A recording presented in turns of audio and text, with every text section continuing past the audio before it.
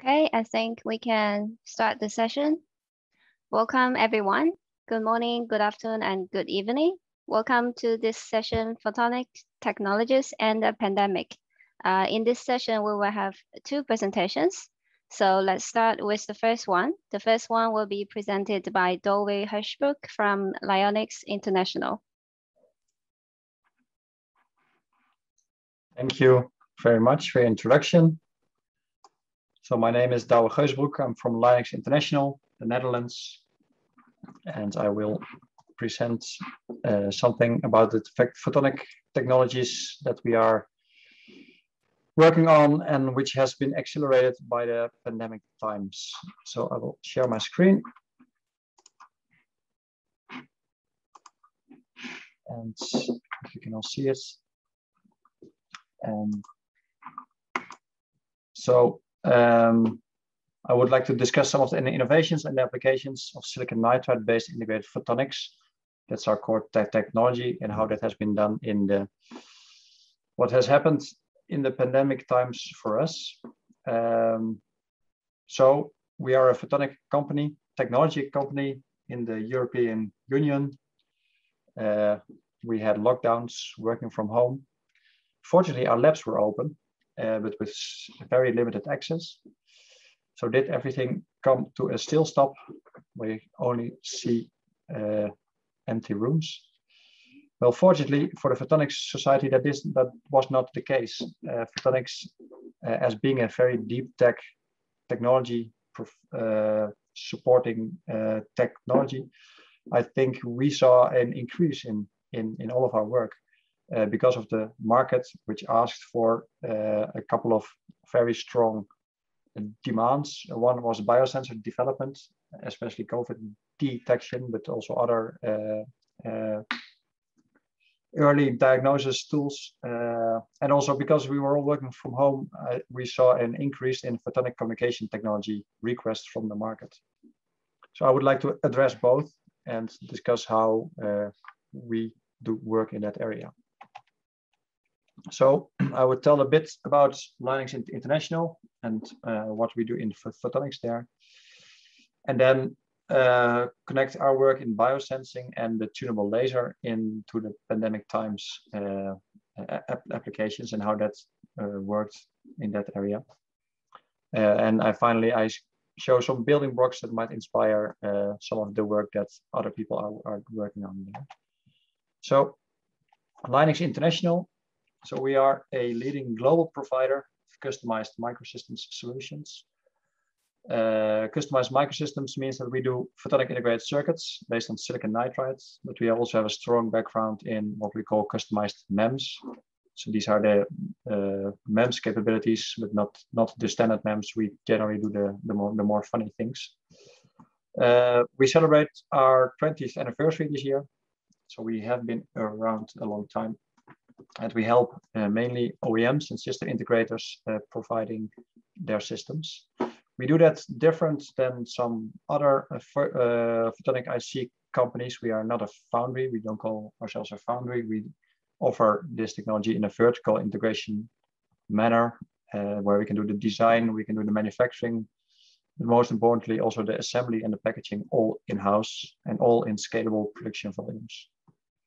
Scalable production volumes means that we can scale with the growth of our clients, both from prototype to a high volume. But it also means that we can scale in between different uh, end volumes. Uh, being in silicon nitride uh, also means that we don't necessarily have applications that require 100,000 pieces a month. Uh, there are many high-end applications in visible domain, for example, uh, where a thousand pieces a year is the whole market, and we are and we are fine to address also those. Uh, we maintain our technology leadership. We has we have been around for 20 years, always at the forefront of what's possible, and we do that, and we maintain that there. So going to the biosensing, some of the context there, right? So you see that all the medicine is getting personalized and uh, it, and, and, and now the pandemic also drives the point of need testing, fast and uh, accurate testing without any uh, dedicated facilities, yeah, you need a rapid, rapid diagnosis for either cancer or for uh, COVID detection, uh, but also for automated drug discovery and maybe even space exploration there. So the sensing that we do here is based in the photonics world mainly at evanescent field sensing, where a waveguide uh, is interacting with uh, the outside world and you can either have some absorption or scattering, right? And because of that, you can sense something. The amount of absorption is your what you measure. You can also do fluor fluorescence, where part of the light that you uh, let interact with that what you are measuring is uh, making another wavelength, and this the the amount of the other wavelength, the fluorescent light, is the uh, is the amount of uh, measurement. And you can also have a refractive index sensing where you are actually looking at the phase of the light and uh, the you measure changes in uh, the effective refractive index. The last one I we we do a lot of work on uh, either with microrings or what we call asymmetric Mach-Zehnder type structures. So both work that uh, a, a, transfer function of a filter shape with the ring being a, a strong peak, with the asymmetric Mach-Zehnder being more like a sinusoidal.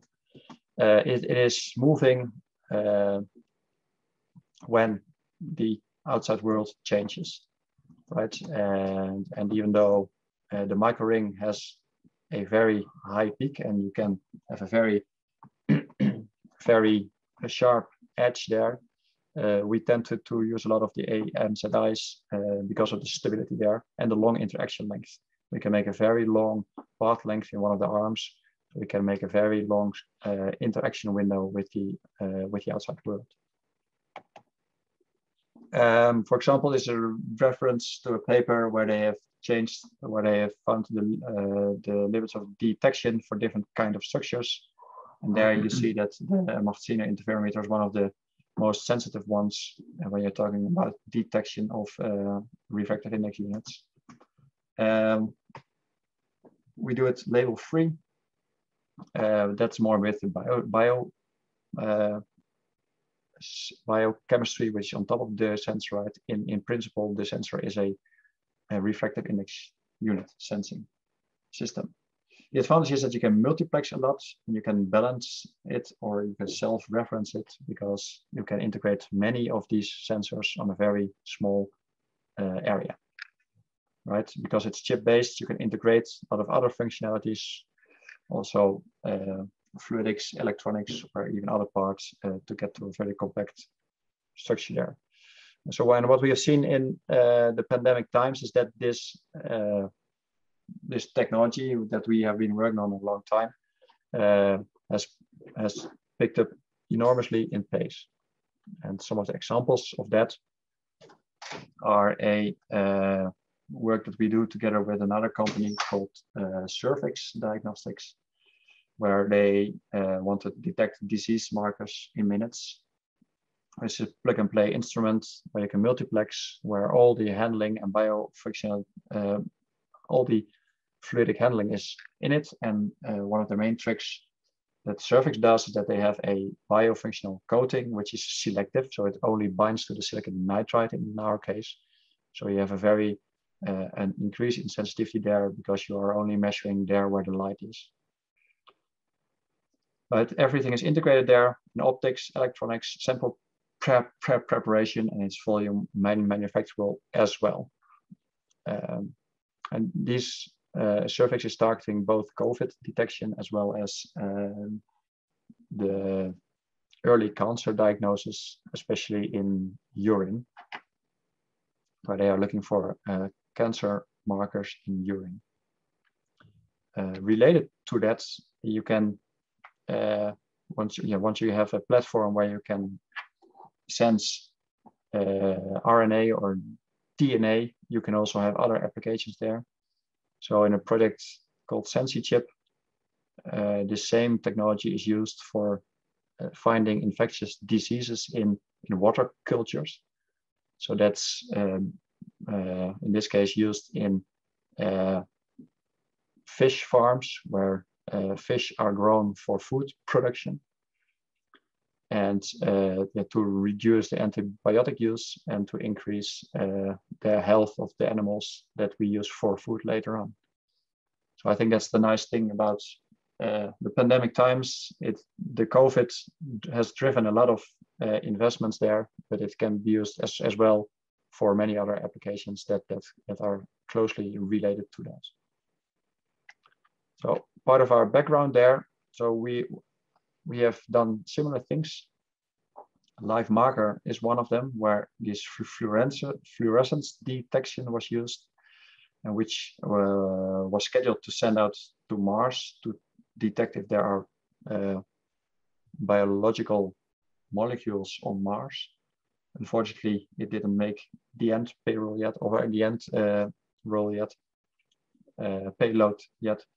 Um, but that's uh, an option which you can do. There's also a fully integrated system with uh, fluidics and a optical readout integrated to it.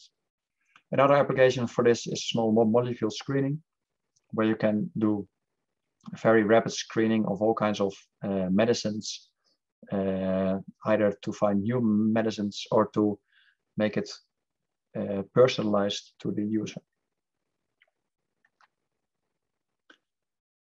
So another application where we saw a, a big increase in questions from the market in pandemic times was uh, datacom, right? Everybody's working from home. So all our telecom infrastructure and the datacom infrastructure was uh, running at its limits. And uh, one of the key work that we've done there is a development from it from uh, where, where we had made a tunable laser using our technology there uh, which drives, which is driven by uh, the increased capacity of these uh, networks and as, especially the flexibility within these kind of systems. So an integrated tunable laser is needed there to uh, do signal processing or even uh, remote sensing there. So how does that work in our case? So we use silicon nitride as a core technology where you cannot make any light. So how we use it is we use it by hybrid integration. So we have a indium phosphide based gain section and we attach it to a silicon nitride based mirror. In that case, we have a best of both worlds where uh, the platform that can generate light generates light and the uh, platform that is low, that has low losses, silicon nitride, uh, does what it's good at and that's having low losses right? So we have made a, a reflector, and in this case, we have a, made a double ring reflector where uh, two different peaks of two different uh, uh, microring resonator are used as a, reflective mirror, which is tunable. And we've used two rings of these to apply the Vernier effect there, that you have a broader span of uh, the co combined uh, the combined structure uh, with respect to the single one. And we can tune these. We can tune uh, these peaks in individually. If you combine that then to a structure like this, where here is a this should be the SOA. Somehow the text is not showing. This is the the SOA part of the of the system co connected to uh, our tunable mirror, and you can see a very a very sharp peak a very sharp peak is because of the low losses. You get narrow line widths. It's a high quality cavity there and with a long path length. Uh, and you we can tune it. We can tune it very broadly uh, over 50 nanometers up to 100 nanometers. This, this can be tuned in the C-band. So that's uh, the hybrid integrated narrow line width laser. In this case, at 1550 nanometer. So typically, you can tune over the whole C-band with line widths lower than 100 kilohertz. Uh, the line widths can go down if you play with the cavity design. The limit there uh, is looked after, but at this moment it has proven to go as low as 40 hertz uh, with a very long cavity uh, made this way, uh, work by University of Twente. Uh, the tuning speeds are in the order of a kilohertz. These are all ter thermally actuated. The output powers, uh, typically it's 100 milliwatt, uh, sorry, 10 milliwatts. with some tricks, we can go up to 100 milliwatts if needed. Right, so it's a high Q cavity where we can, so the nice thing about silicon nitride is that it can deal with very high powers. So uh, it doesn't become uh, non-linear very fast. And uh, one of the tricks that we can do within the silicon nitride is a very good spot size converter, uh, converting the spots from the silicon nitride to the one in the indium phosphide, therefore having very low losses. So uh, other works in this uh, area is that this technique is being used now and it's being uh, scaled into volumes. Uh, and functionalities are added. For example, a dual gain laser when you have two lasers on the same platform, either beating beating against each other uh, to make a, a third signal, or you can use it as a as a as a dual line laser. Um, this is technology that we that we think at, the, at this moment is so robust that we even offer it in our multi-project wafer runs. So um, it is a hybrid approach. So in in uh, very uh, easy ways, we basically glue two pieces each other. So how how solid is that, and how how reliable is that? Well, it has uh, survived 40G aeronautical shock tests. And we have also shown, demonstrated that it can function at only three Kelvin, very low temperatures. So uh, stability-wise, this is a this is a good approach. Uh, the, the, novelties and what the market requires now is to do this at also at different wavelengths right? Uh, 780 quantum sensing or quantum com com computing uh, requires that, uh, or quantum key distrib distrib distribution requires that uh, OCC CCT scanning laser at 850 nanometer is very favorable there. And we can even go as low to the visible wavelengths and do this as, as, as well. We have a paper published together with University of Twente where we've shown the first visible tunable laser using this approach, uh, which can be of interest in, uh, for example, AR/VR applications or other projection, visible projection systems. So to close this session there, I like to say think big, right? Not think big, but think big, because uh, if you're thinking about the building blocks that, that you are available in photonic integrated circuits. You can make new systems uh, uh, that yeah, have not been possible before that.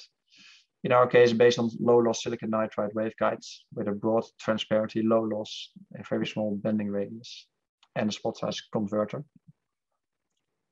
So in terms of uh, building blocks coupling in and out of the light, uh, LioniX International always says that we don't sell uh, chips, we do modules because our clients cannot deal with a chip. You always need to provide an interface. And in this interface in telecommunication, of course, is a fiber. In many other, other applications, there are many other interfaces. So thinking about the interfaces, uh, either being VCSELs that you can flip chip, or photodiodes, or uh, in the outputs, you can have fibers or gratings or mirrors. It is all, always about the system that is that makes a photonic integrated circuit work. And we are glad that even in the pandemic times, which has been hard for many people, we see that photonics technology can make a difference. And that's one of the uh, drivers of LioniX. It has been a driver for LioniX since uh, 20 years that we believe that photonics and integrated photonics especially can help change the world. So um, some of the other applications that we are working on, I would be happy to discuss some of the challenges that other people have. And I would like to thank you for your attention here. Thank you very much for the very interesting talk. Um, we have time for one or two questions. Uh, if you have question, you can just unmute yourself and ask your question.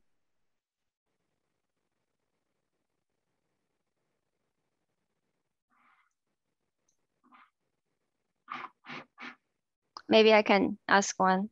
I'm very interested in that uh, life marker that you yeah. can send to Mars. Uh, yeah. how, how does that work? Would that be in a robot's arm and it it will touch surfaces or or it will be left on the Mars and someone would take it uh, afterwards? How, how does that work? Uh, it was scheduled to be on a on, on one of the the ESA rovers uh, that would collect dust and do uh, uh, and all the all the uh, it would stay there. So all the measurements, all the pre pre pre preparation, all the measurements were done uh, in the Mars rover, and only uh -huh. data would would be sent back there.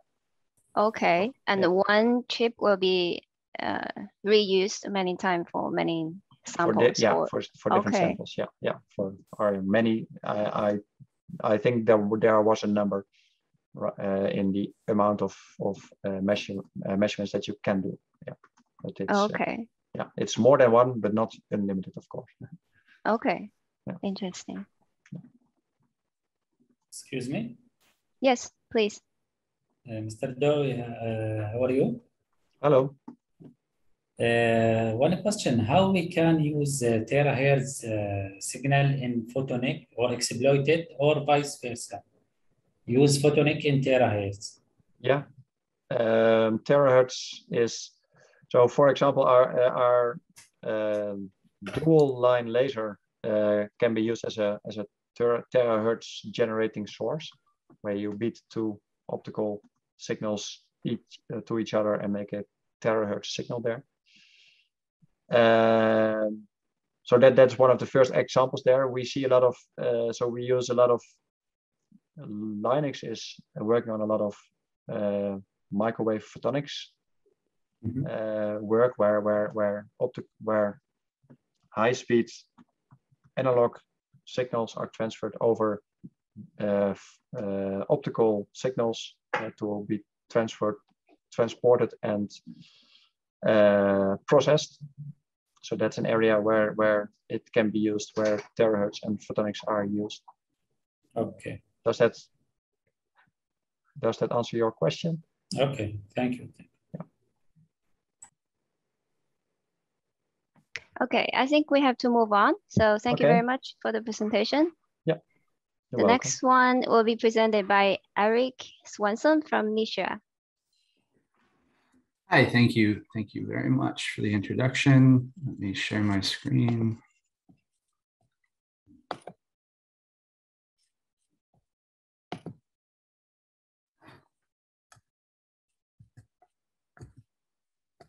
All good? You can see it? Yes. All right, perfect. Thank you again for the introduction. My name is Eric Swenson. I'm a general manager with Nichia America Corporation.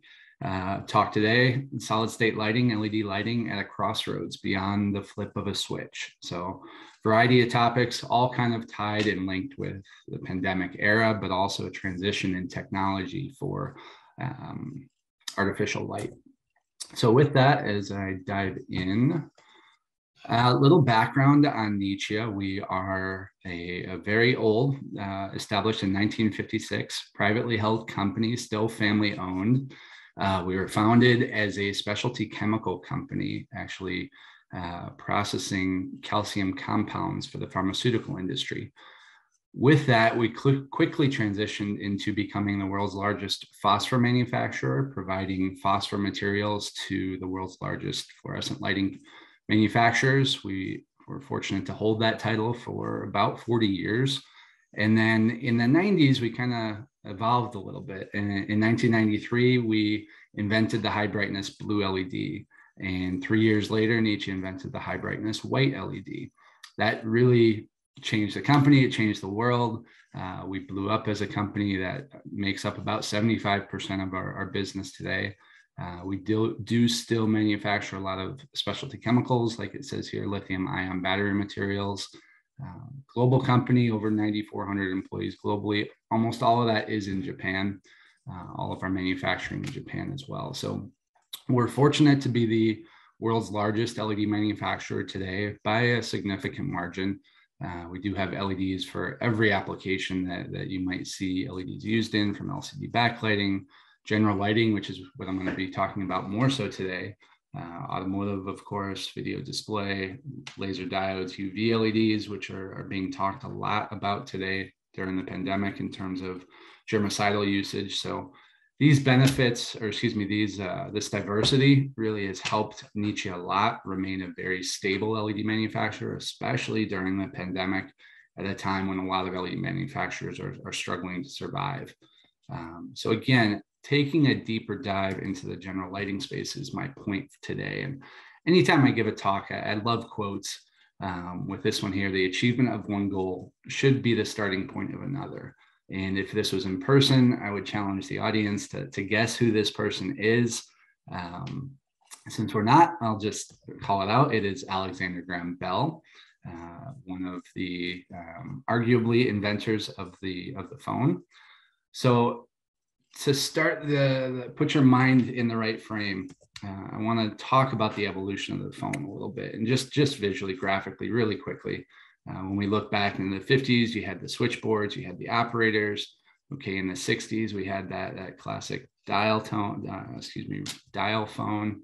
Uh, always fun to, to look back on in the 70s. Okay, we switched over to this style with the touchpads. 80s are getting a little more complicated, a little bit more technology driven. Uh, of course, then in the 90s, we had a lot of transition to portable phones and, of course, the cell phone. But all of these did one function. They enabled us to talk. They enabled us to make phone calls. That was their solo function. And then again, in the 90s, fortunately, with the invention, Nichia's invention of the, the white LED, we now had colored cell phones. And the first colored cell phone came out in 1999. So again, this is all just to put a, a bug in your head and get you thinking. So, okay, great. We have colored phones. Uh, still just make a phone call is what they did so imagine uh, for over a hundred years um, using a product to do just one task well that changed fortunately and we took something that we were using to do one task and doing something completely new so again the smartphone came about now imagine trying to apply that to something different imagine trying to apply that to lighting. And that is where we've been using the same thing for 100 years, different products, different types of technologies, but to do one thing, and that's to, to light up a room, light up a space. And now in a pandemic, when we are spending a lot more time under artificial light, consider that. So with solid state lighting and the LED adoption, we, we've kind of gone through the, the first phase of LED adoption, and that focus was strictly on energy savings. There was some other benefits and plays, no doubt, reliability being one of them, but mostly on energy savings. And this is a, a chart referenced pretty regularly in the solid state lighting industry, talking about the adoption curve and the efficiency, efficacy curve over time we were stuck pretty plateaued for a very long time until LEDs came around. And then fortunately, over the last 20 years, we've seen a dramatic hockey stick growth in terms of efficacy. And we can celebrate that. We should celebrate that. We're over 20 times greater the efficiency of most traditional technologies. And that's been accomplished really in about 15 years. When I started with Nichia back in 2007, we were talking about LEDs that were 30 lumens per watt and the the talk was man if we could reach 100 lumens per watt game over ball game it'd be we, we're there we've accomplished our goal but now the industry is well over 200 lumens per watt well over 220 lumens per watt so it's a great uh, accomplishment and, and that goal of energy efficiency has been achieved so with that let's set out let's set a new goal as alexander graham bell mentioned so we move on to phase two, and this is where we're at the crossroads. which path do we take as an industry for phase two? One path is to, to stick with our full color cell phone. So again, to use that phone evolution reference, we've got something good. We, we've accomplished something good with solid state lighting. We have uh, replacement bulbs, we have replacement lamps, we have tape light, we have solid state lighting troffers and fixtures in our offices. These are good enough, and we've accomplished the efficiency goals. But I asked the, the question to the industry do we stick with that? Do we stick with what's good enough and simply make things cheaper and, and allow us to just function in one way and to provide light to an open space just in that sense? But with that, where does that lead us? What type of quality concerns do we have if we go down that path of just make it cheaper, which we hear a lot of? Do we have supply chain issues? Because again, we're focused on cost only. Ultimately, as I'm speaking to a lot of engineers, and my background is in engineering, it's boring. That's not innovative. We still have so many more opportunities. Um, and here again, I like to reference my quotes. The Hall of Fame wide receiver, the 49ers, said, The enemy of the best is good. If you're always settling for what's good, you'll never be the best. And that leads me to what I want to propose and, and talk about a lot in the lighting industry is path two. And that is to continue to innovate and create our own smartphone, find a new way to make lighting provide more function. And that is the key point is to use solid state lighting use leds to provide light functional light beyond just lighting up a space. And the tools are there. The tools from led manufacturers from fixture manufacturers are there and ready to be used if users are willing to accept it and do more than just light up a space so examples of that as we dive a little bit deeper into this, and like I say here, now is the time to have fun, especially as uh, technology people, as innovators, as engineers. We've done the energy savings thing. I've said that several times. Now with LEDs, we have the latest technologies. We have the opportunity to focus on quality of light and providing a much better light source for the, the world that we live in, whether that's inside in my office, whether that's um, the street lights and providing safer lighting for, for our towns and cities. We can focus on the quality of light. Smart lighting, this is being done uh, in a lot of places right now, or available, I should say, to be done. And that's using light to control uh, different features and, and, have it be controlled by our cell phone. Um, and then a whole lot of new features, again, which I'll take a deeper dive into, one being human centric lighting, um, different ways to improve the performance, not just at the LED level, at the semiconductor level, but at the system level. Different ways to in- use light to increase productivity amongst people. Uh, so, a lot of great concepts and tools at our hands. And some examples of these coming out of, out of Nichia and our innovation over the last couple of years in terms of quality of light. Again, having light sources that, that are perfect, that, that in terms of rendering colors, light sources that match the, the rendering of the sun, light sources that match the rendering of halogen light sources.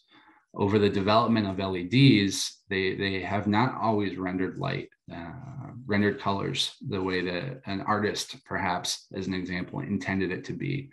So imagine shining an LED light source on the Mona Lisa and having it look washed out and faded, or um, LED lighting in a surgical suite, and, and, the doctor performing surgery notices the blood is is um, faded and is not red, is not really as as oxygen or looks oxygen deprived, all just because of the light source. So that we can accomplish better now with LEDs. We have these opportunity, or excuse me, options historically when you go up with higher cris higher quality of light historically you you lose out in efficiency. There was a trade-off.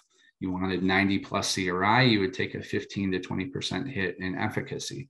Well no longer. Again another tool uh, in the toolbox is leds that have a unique spectrum that that optimizes the efficiency of the led so you can accomplish 90 plus cri without sacrificing any efficacy. So if you had your choice to get your cake and eat it too, uh, you got it now. And then as we look into the outdoor space, uh, high pressure sodium lights are, are, still used extensively throughout the world. A lot of it has to do with their color and the nostalgic look that comes with that color of a high pressure sodium light. Uh, historically, LEDs have not matched that in terms of color.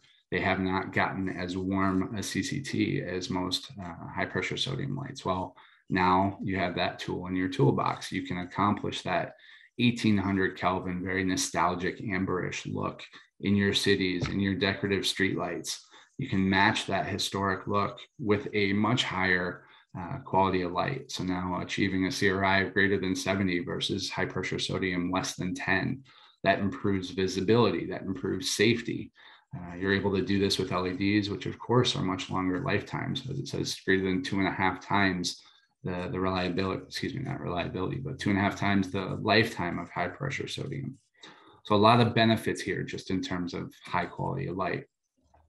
Human-centric lighting has received a lot of buzz over the last year, not so much implemented yet, uh, mainly just due to the questions around um, how does it work? What effect does it really have? But imagine utilizing light to stimulate stimulate your body and match your circadian cycle.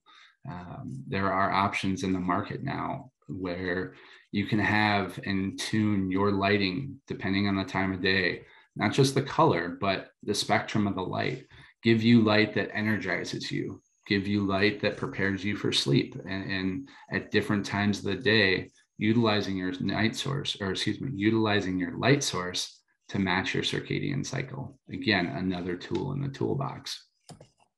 Next, I touched on a little bit is color tuning. Again, another recent innovation in terms of LED lighting that uh, allows you to do things you haven't done before. So color tuning sometimes is looked at uh, in terms of human centric lighting, but it can be anywhere. Imagine um, wanting to have your uh, kitchen at 5000 Kelvin while you're preparing dinner, but then as you're eating dinner, you want to switch it over to 2700 Kelvin. You have options.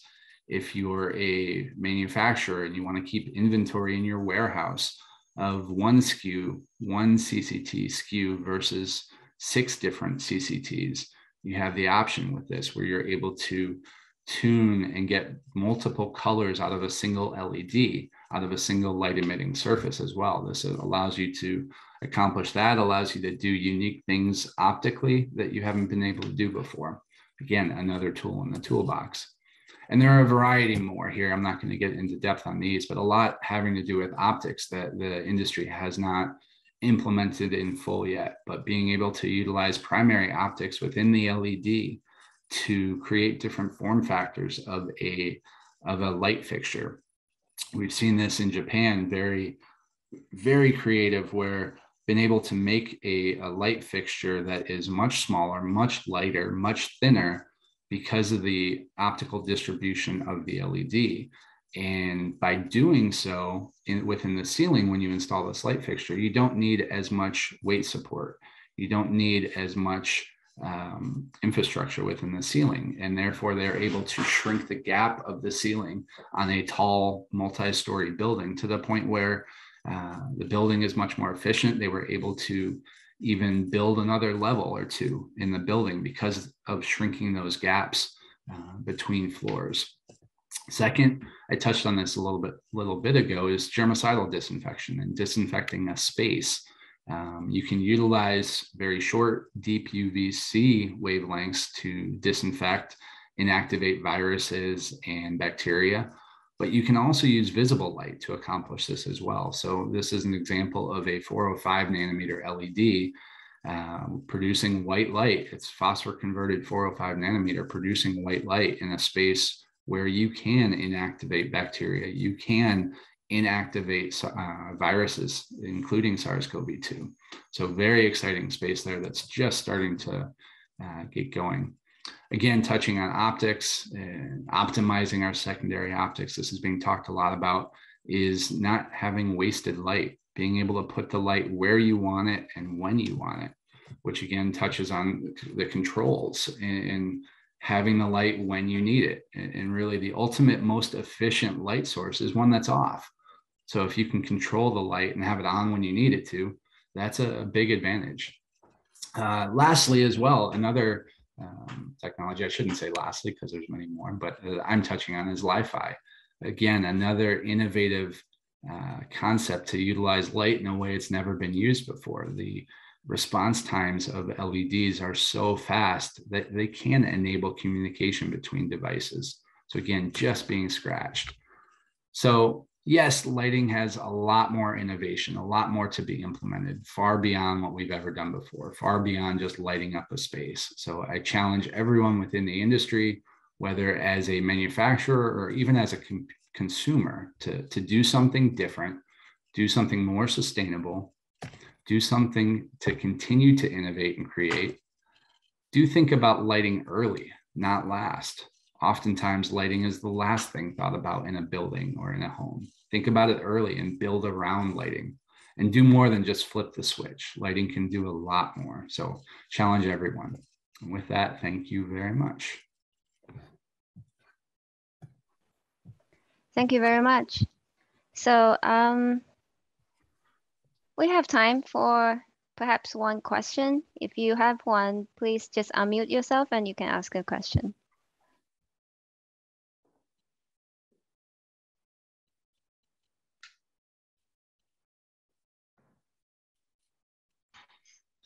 Hello, and thank you very much for your very nice presentation. I have a question.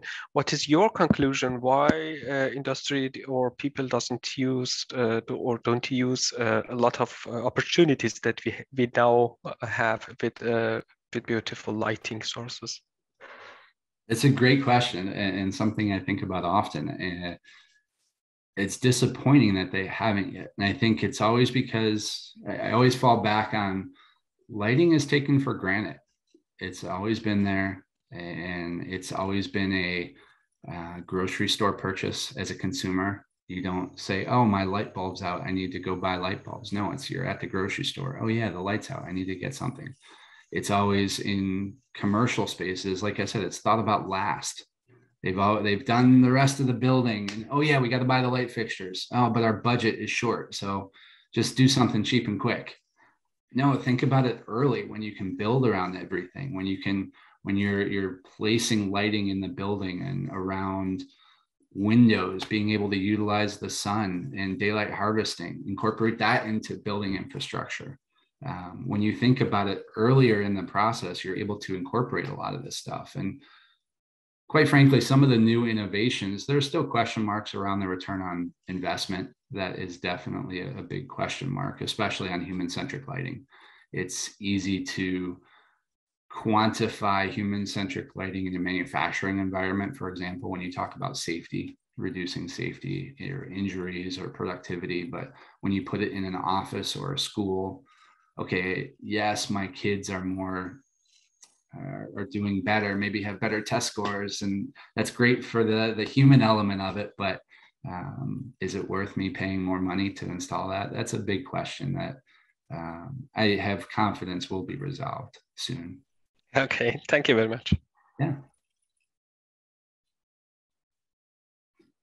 Okay, I think we are um, at our time limit. So uh, thank you very much, um, Eric and uh, our two speakers. And this is the end of this session. And thank you very much for attending and hope you enjoy the rest of the conference. Thank you. Have a great day. Bye. Thank you. Bye-bye. Bye-bye.